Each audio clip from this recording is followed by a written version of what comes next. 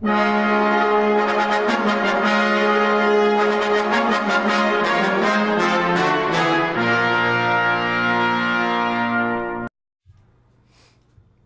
everyone to DCYO Presents, our weekly in-depth interview with DC Youth Orchestra program artists about what inspires them. I am Liz Schurgin, your host and the executive director of DCYOP. On today's show, we are joined by DCYOP faculty member Ken Giles. Hi, Ken. Hello, glad to be here. Ken has curated an interesting video list for us today and we'll also be sharing some photos. If you look closely, you may see some DCYOP students in some of these videos and photos. We really want DCYO Presents to be an interactive experience, and so we will be answering some of our viewers' questions throughout the show. If you have a question or a comment for Ken, please type it into the chat box. We also want to hear your reactions to the music you see today. Our audience is mostly children and families, so please be kind and thoughtful. Arles, say hello, Arles. Hi, everyone. Arles is our Assistant Director of Operations, and he will be monitoring today's chat and questions. So let's get started. Mr. Giles, as you are so fondly known here at DCYOP, Hmm. History with the organization, which we will explore today. Tell us, when did you first get involved in DCYOP? I first came to DC Youth Orchestra in uh, 1986 when I came with my older son Jonathan, who was in the beginner violin level A class. And uh, I really sat with all the parents um, around the room as the kids learned how to hold the instrument and how to play. And uh, very early in the experience, I I was so inspired by how good this was for my son and how how all the kids were engaged and responding that I um, I really decided almost at that moment that I wanted to do this myself. I wanted to be a, a violin teacher and a music teacher and uh, help kids learn how to play. So I I kind of date my music teaching from that early DC Youth Orchestra ex- experience with my son. And we actually have some photos of your son in the DC Youth Orchestra Hmm. we'd like to share today. So Evan, can you bring up those photos? And Ken, will you talk us through what we're seeing? Well, this uh, photograph uh, from 1988 uh, is uh, two years after Jonathan joined the program, and uh, Jonathan's in the second row on the far left in a blue shirt. But these are the kids uh, who started out as violinists, and um, some of these students went on to spend 10 or 12 years at DC Youth Orchestra, uh, like my son, who spent 10 years and rose up to the top top orchestra. Um, some of the violin teachers are standing in the back, but it's an interesting uh, early snapshot of kids from the 1980s. We have, I think, two more photos to share. Here's uh, my son Jonathan when he was uh, the concertmaster of the intermediate orchestra, shaking hands with Lyn McLain. Uh, Lyn McLain, of course, was the founder of the DC Youth Orchestra program and for many, many years conducted several of the ensembles. And um, Jonathan had the privilege of sitting first chair violin for a while and shook hands with Lyn McLain at the end of the concert. Wow. And then here's uh, the top orchestra, uh, 1995. And my son Jonathan is in the second violins, in the second stand, wearing a bow tie. And uh, this was all at Coolidge High School. Uh, the program started out at Coolidge back in 1960 and stayed at Coolidge until the, uh, I don't remember the exact year when we moved down to Eastern High School, but uh, Coolidge was the home for decades. By the way, there's a one person in the second stand of the first violins who is Camille Lewis, and Camille was uh, a teacher, violin teacher at DC Youth Orchestra for a while. She's now a music teacher at Banneker High School here in DC. That's pretty amazing. We have a question from the audience which asks us, where was that tour? Where did they go on tour? Well, the orchestra has taken many tours over the years. Um, the I, I don't my son did not go on tour.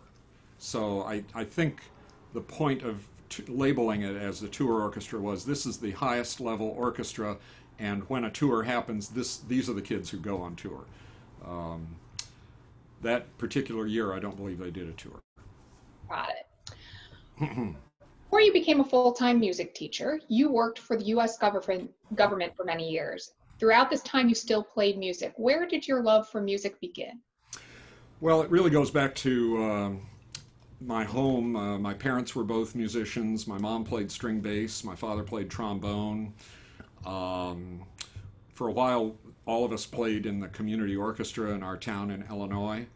And uh, I went to the National Music Camp at Interlochen, Michigan in 1963 and 64 and 65. And then I went to the Interlochen Arts Academy, which was the year round school, and finally graduated there in 67. So I spent several years in the uh, early and mid 60s at Interlochen, Michigan, and I just did a tremendous amount of music there uh, because uh, one of the things the orchestra did at Interlochen then was they played a concert every week. And uh, you would get your music on Monday morning and rehearse every day through Saturday, and then on Sunday play the play the concert. And we played all the Beethoven symphonies and most of the classical repertoire. Uh, during the years I was there, I probably learned more music at Interlochen than most people learn in, you know, music conservatories. So it was a, a remarkable experience. That, that's that sounds fantastic, and I'm so excited because you actually kept some of the photos of when you were in both the camp and the uh, academy. So, Evan, can you show us that, and, and can can you walk us through what we're about to see? So, um, my first year or summer at National Music Camp was um, 1963. Here's here's our group, and we're all wearing the camp uniform, the blue corduroys and the white shirts or the blue shirts. Um, white shirts on Sundays, blue shirts the rest of the time. And uh, some of my cabin mates uh, have gone on to illustrious music careers. Uh, one of them is a professor at uh, Yale, another was the first chair horn in the Dallas Symphony. And, um, and I met over the years at Interlochen, I met some wonderful young musicians who did go on to be uh, first class performers around the country. Um, in the in the 1960s, Interlochen was really a, a, magnet for young musicians who wanted to work really hard on their music. Here's the Interlochen Arts Academy Orchestra from 1964. So that was, I think, the third year, second or third year of the school, and um, the orchestra was large and uh, uh, played a concert every week, every every Sunday night. That's that's that's pretty that's pretty amazing. And in fact, we have a video that we're going to show, which I understand is a tradition that happens every summer at Interlochen. Can you tell us a little bit about that? Uh, yeah, we're going to show uh, uh, Franz Liszt's Les Préludes.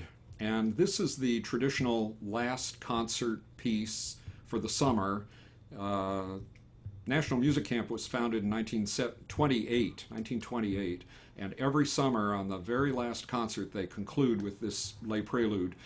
And it's a chance for just about everybody in the camp who can play the piece to get on stage, play together.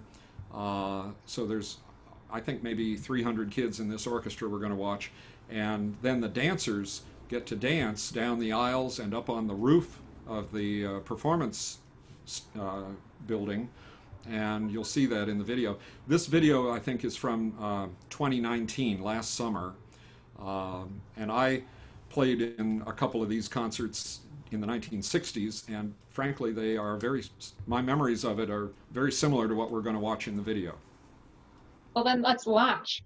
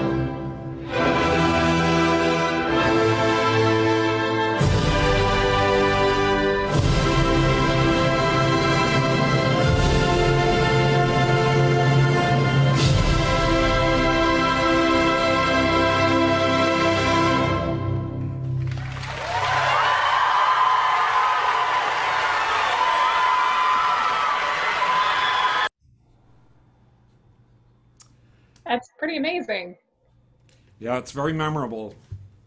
Yeah, in fact, we have a comment that from Pam, who may or may not be my mother, that says, I remember those days, participated, and it was in the audience. Yeah. Says that because I too uh, went to Interlochen when I was a high schooler, and it was it was very formative for me. It really helped pro- propel me in the direction that I I have I am today. And one of the amazing things is that you had that experience as a camper and as a, a, student at the academy, but you've also taught students who have gone there and had that same exact experience, correct? Right. There are some uh, DC Youth Orchestra students who, in just the past couple of summers, have spent uh, time at the arts camp. And I think a couple of members of the Youth Philharmonic are scheduled to go this summer, assuming everything is normal this summer. Let's hope because it's a really special experience. So I hope uh, for our students' sake that they have that opportunity. And my understanding is that throughout your whole, you know, musical career, you've also had interests that have been outside of music. So tell us what initially brought you to Washington, D.C.? Well, uh, in addition to the passion for music, I have been very interested in social issues, government, uh, sort of uh, improving our society, civil rights, uh, peace, health and safety.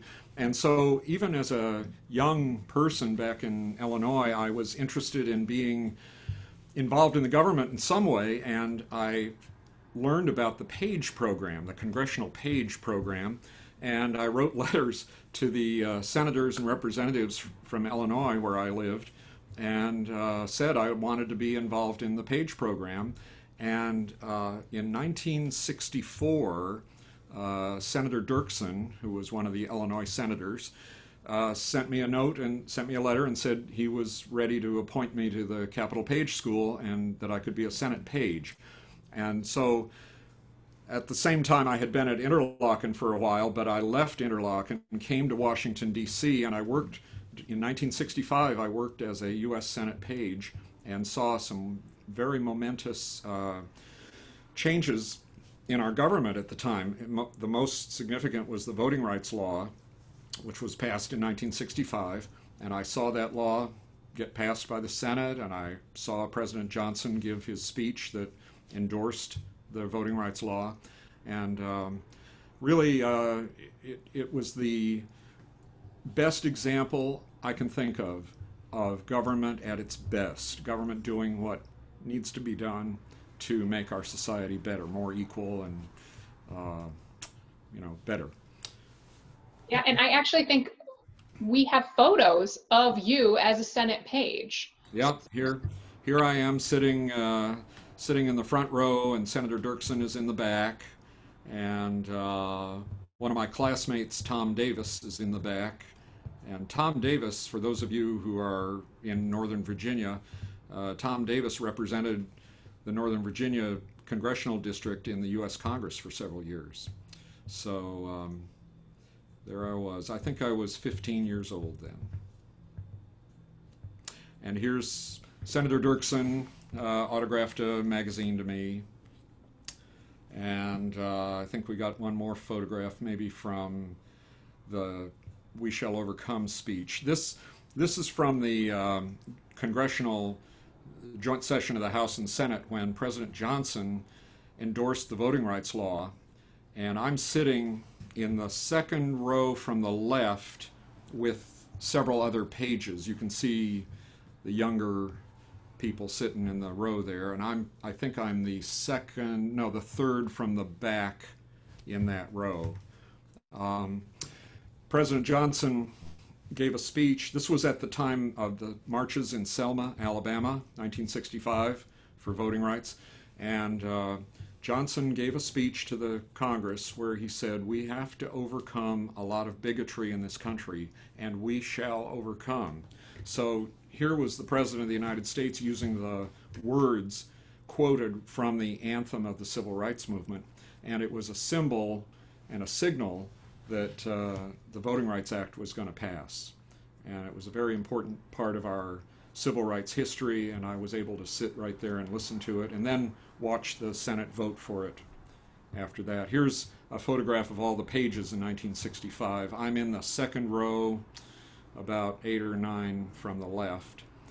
And uh, there were African American pages, uh, but it, we were all boys at the time. Uh, the girls came in 1970. The page system was finally opened up to girls too in 1970. So you were truly in DC during a very critical moment in our, our history. How? Yeah. I, I, saw the demonstrations in front of the White House at the same time that people were demonstrating in Selma. Other civil rights activists were demonstrating right in front of the White House, singing "We Shall Overcome" and um, you know carrying signs for voting rights and equal rights. And uh, I was very moved by this I, I, as a teenage page, and uh, it really influenced me the rest of my life. Uh, made me convinced that civil rights and social activism is part of what makes America great. And my understanding is that that experience really has profoundly impacted you both as a musician and a teacher, and that you use this a lot in your teaching, correct? I do. Um, all of our social movements over the years have had music. The labor movement had labor songs. The uh, anti-slavery movement back in the 1800s had a whole series of, anti- of abolitionist songs. So the civil rights movement had civil rights songs, and they, uh, people sang them, and the, the songs gave people a feeling of strength. Sometimes the songs documented what happened, but often it was just to make people feel like they could go out there and demonstrate for civil rights. And We Shall Overcome is a good example of that. Uh, the song became the anthem of the civil rights movement here, and now, of course, it's been sung all over the world. And I have used the civil rights songs in my music teaching, uh, both at DC Youth Orchestra, where we play the songs on violin, and then when I was the music teacher at Shepherd Elementary School, the kids would sing the civil rights songs when we do concerts. And I believe we actually have a video of your students at Shepherd Elementary singing with the DC Labor Chorus, We Shall Overcome. Yeah,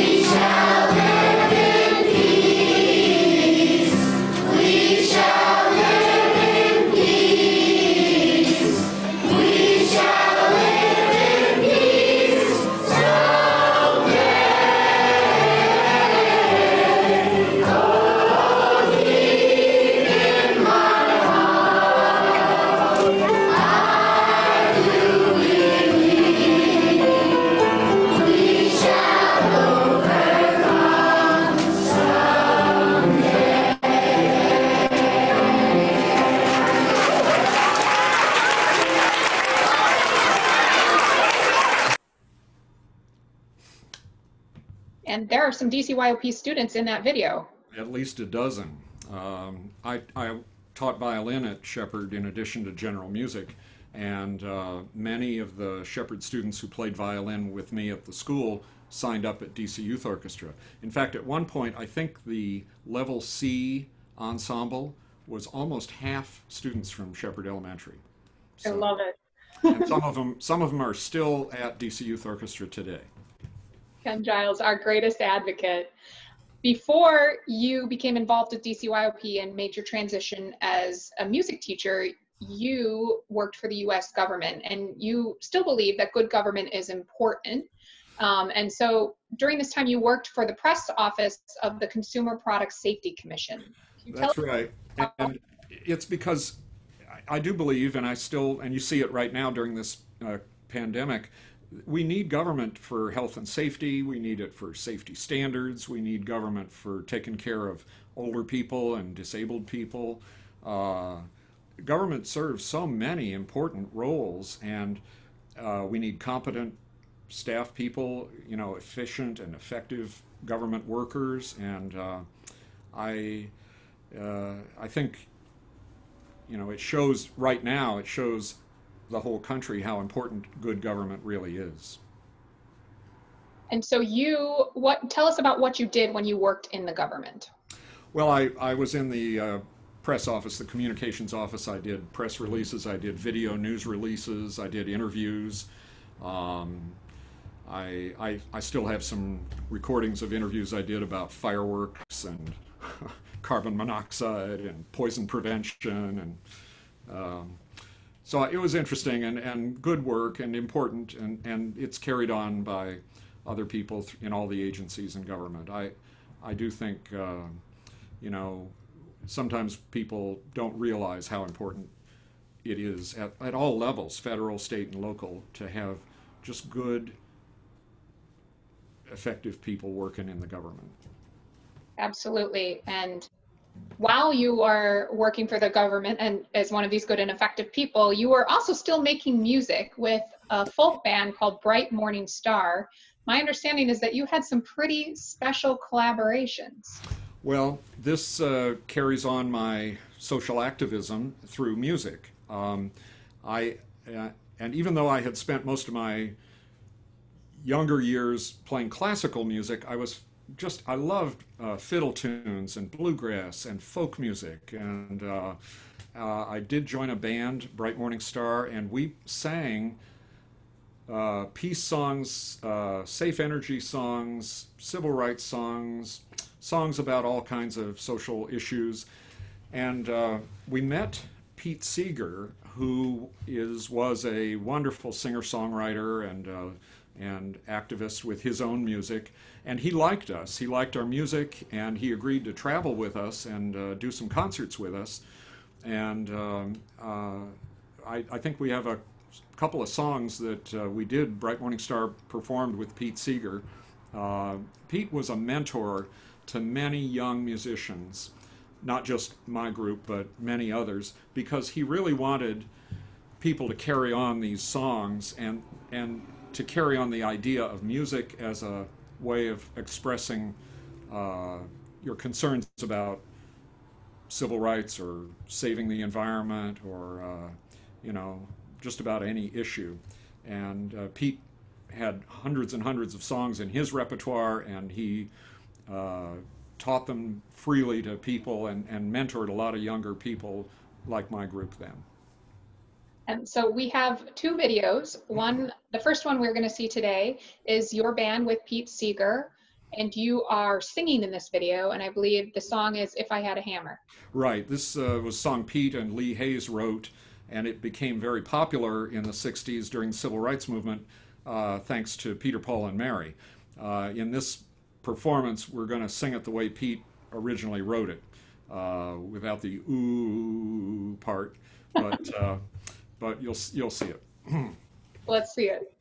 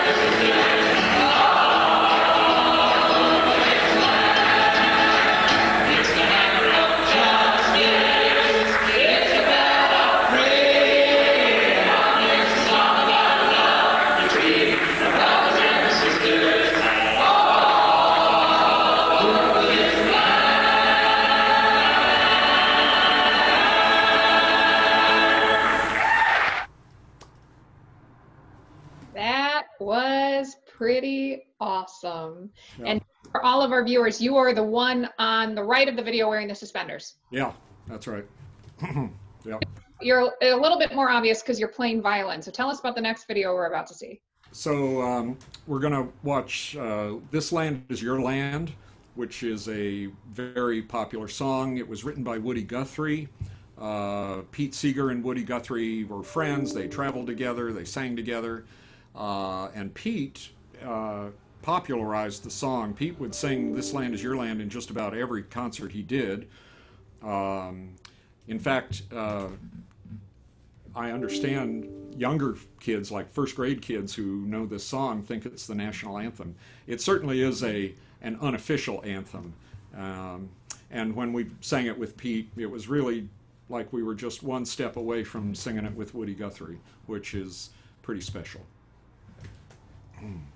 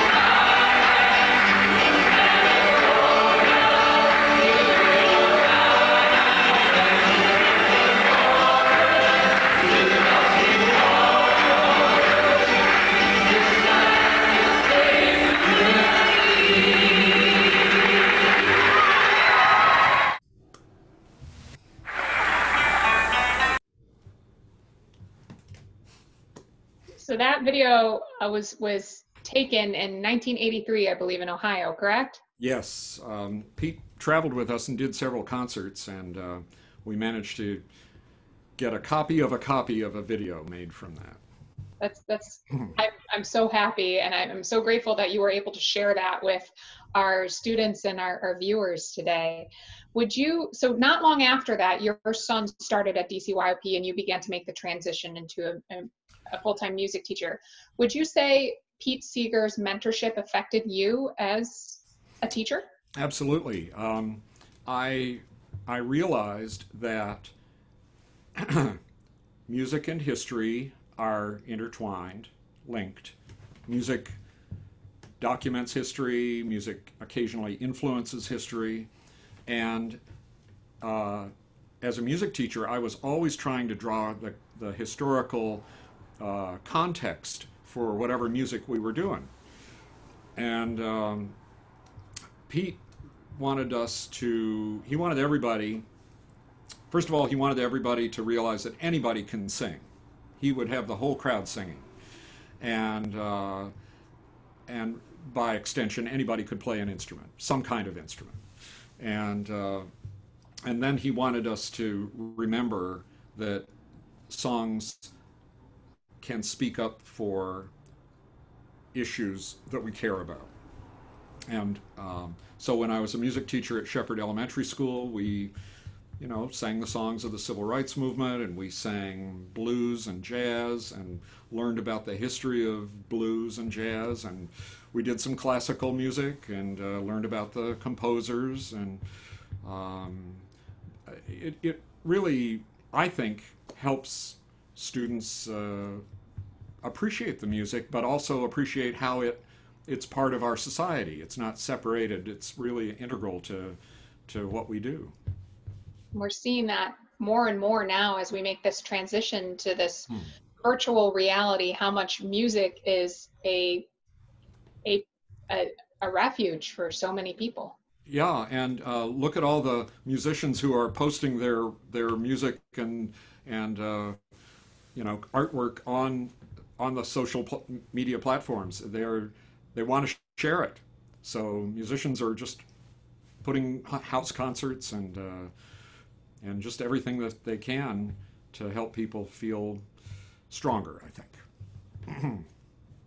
And one of the wonderful things that you've done as a teacher at DCYOP is you've created opportunities for students at different levels to share their music in front of larger audiences. Can you tell us a little bit about that?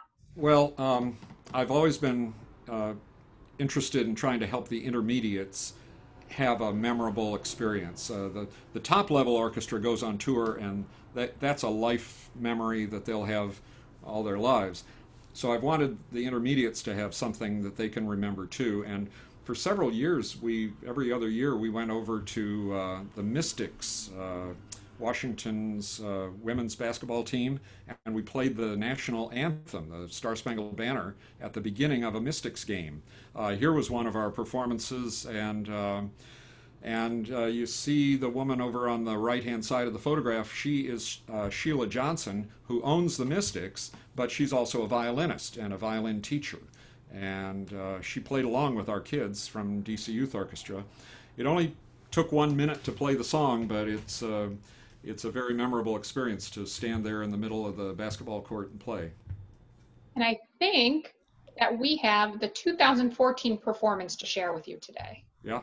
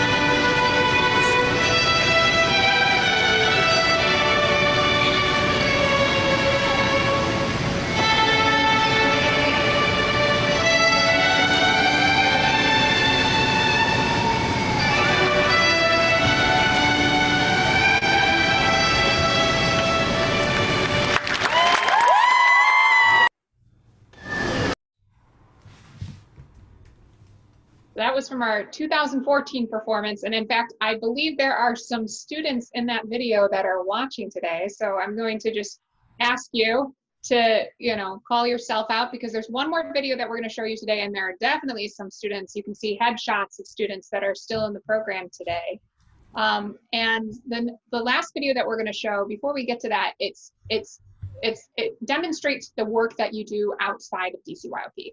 And while you are a teacher at DCYOP and you teach outside of DCYOP, you, you integrate almost all aspects of your music making. So tell us, what do you do outside of Saturdays at DCYOP? Um, I go to Shepherd Elementary School and I do a group violin class there. Uh, and I think there's one student from that class who has been at DC Youth Orchestra this year. Uh, I go to Eaton Elementary School and do some group violin classes there, and there are two or three kids from Eaton who are at DC Youth Orchestra this year. And in the summertime, I do a lot of violin lessons and viola and guitar lessons too.